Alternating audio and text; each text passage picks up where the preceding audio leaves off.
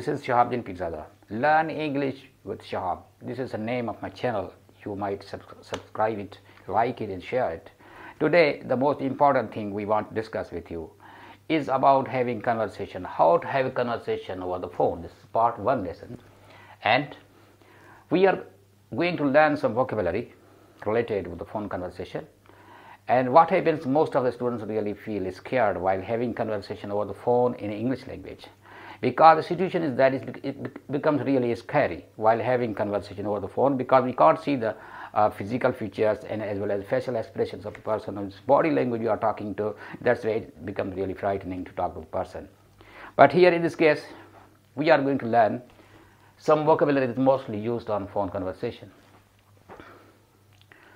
And in second part we will learn some situations we are likely to come across and also finally some examples of how to use what we have learned the most common expressions, words mostly used in phone conversation are dial. Number one is dial. It means it's the verb which means to enter a phone number in order to call somebody, just dialing a number. To enter a phone to call somebody, right? To ring somebody means to call somebody. Ring somebody, it means to call somebody, means making a, phone call to someone. To give somebody a ring also way of calling someone. We can say to give somebody a ring means to call somebody. Then pick the phone up means to answer the phone call. Suppose your phone rings, you pick the phone up, it means you are going to answer the phone call.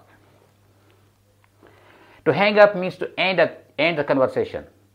To end the conversation, to hang up. It means you have talked to your friend, now you want to end your call, so you can say you hang up right. To put someone through means to transfer the calls to another person. Suppose you are working in a company, international company, and you want to talk to your friend who is working with you there. You dial the number, but actually what happens? That person is not there.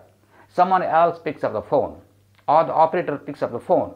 He can ask you, who do you want to talk to? You can say, I want to talk to Mr. David. What will be the answer? He say, yes, I am going to put you through. It means I am going to transfer your call to someone else.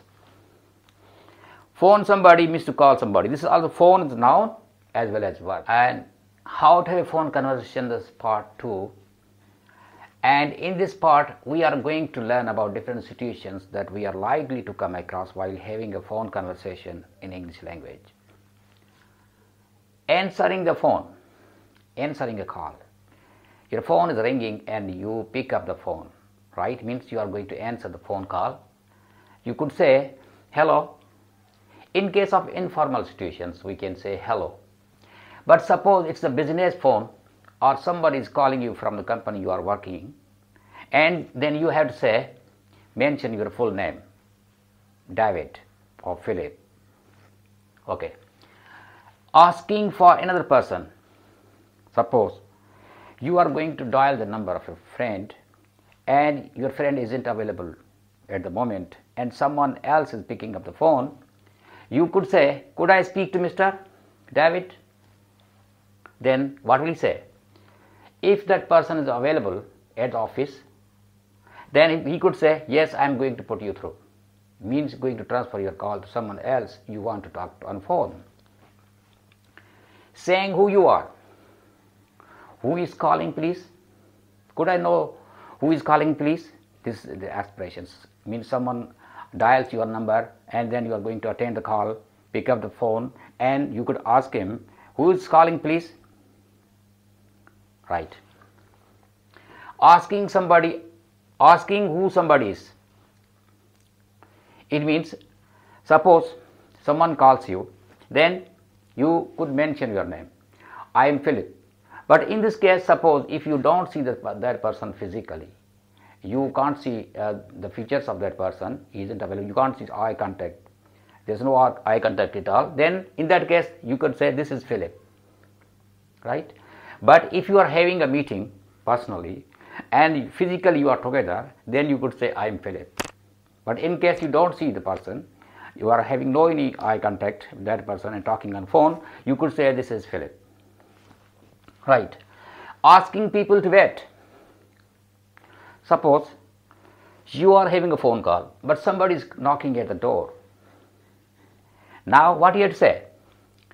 Knocking at the door, it means you could say, hold on a moment, please. Hold on a minute, please. Means, or you could say, could I put you on a hold for a moment, please? This happens in case of formal situations. Dialing wrong numbers.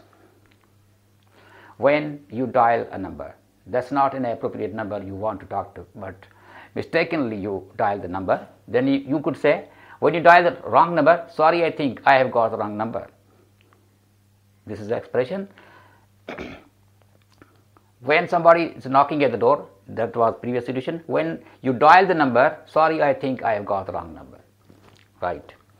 When you have other problems like there can be many problems while having phone conversation, just like uh, the connection is not smooth. Sometimes the connection is not smooth. It's on and off, on and off sometimes. Right. Then you could say you are breaking up. It means you can't hear the person properly. What he is going to say, you are not going to, because this happens, uh, connection remains disconnected and connected again. Or, would you please repeat? Means I want you to say again what you want to say because the connection is not smooth. I got cut off or disconnected. I got cut off or disconnected. Right. So these are all expressions, vocabulary related with the phone call how to attend the phone call, what to say on the phone call, right? So I think you might have uh, grasped many expressions, especially phone expressions we mostly use in daily conversation. If you are going abroad or you are going to call someone in a company, then you need to have a conversation in English language. Please remember that, like my channel, subscribe it. Thank you very much.